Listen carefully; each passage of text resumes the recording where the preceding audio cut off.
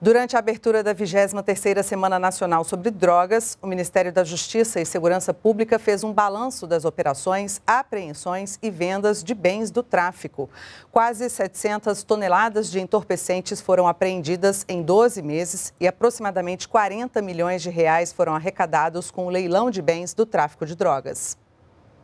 O balanço foi divulgado na abertura da 23ª Semana Nacional de Políticas sobre Drogas, quando foi assinada uma portaria entre o Ministério da Justiça e Segurança Pública e o Ministério da Economia, que permite leilões e vendas de bens imóveis de organizações criminosas. A medida pode arrecadar quase 200 milhões de reais ao Fundo Nacional Antidrogas. O recurso arrecadado na venda desses bens são utilizados para aplicação em políticas públicas na área de segurança nos estados. A ação conjunta de repressão ao crime organizado entre a Polícia Federal e a Polícia Rodoviária Federal apreendeu de junho de 2020 a junho de 2021 mais de 670 toneladas de drogas, 270 embarcações, mais de 3.200 veículos, joias e outros bens de traficantes. Em cerca de 2 mil operações, mais de 6 mil pessoas foram presas, evitando um prejuízo prejuízo aos cofres públicos